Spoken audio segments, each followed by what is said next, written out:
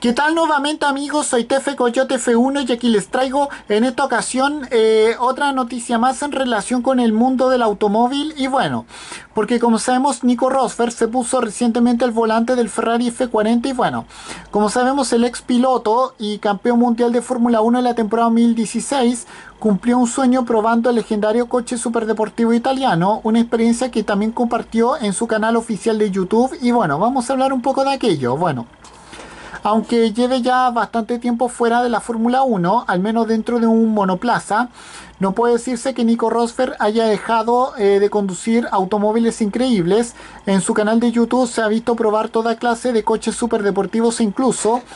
uno de los primeros mortales en subirse a un Volkswagen IDR o un, o un Rimac eh, C2 Prototype, ya conocido ahora como eh, Rimac Nevera. Eh, no obstante, al campeón mundial de Fórmula 1 de la temporada 2016 con la escudería Mercedes,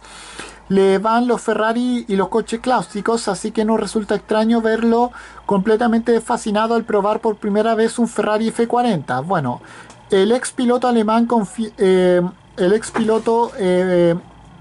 Germano Finés, confirma que este, este automóvil es uno de los es uno de esos que desde toda la vida estaba en su lista de deseos.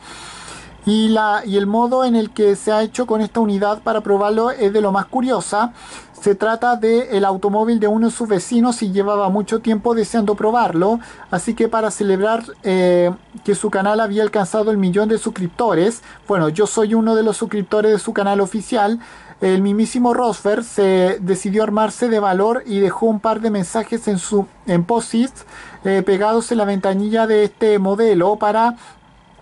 eh, pedirle si podría probarlo y por lo que puede verse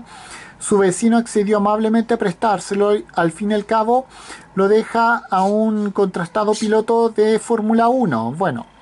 no obstante, aunque se puede ver a Rosfer realmente encantado como, con la experiencia, conducir un automóvil como el F40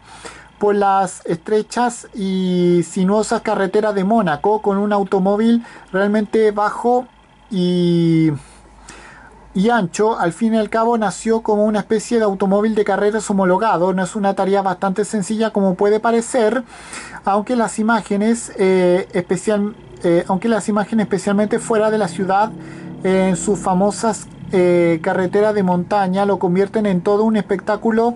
sumado al rugido de su motor biturbo tipo V8 de 300 eh, no de 478 cb todo ello con un reducido peso de 1235 kilos que lo convierte en una experiencia inolvidable, al volante si, si como en el caso de Rosfer eh, en el caso Rosfer tiene la mano y el valor suficiente para exprimirlo por la montaña de Mónaco. Y bueno, con esto me despido. Adiós, como fuera. Chao.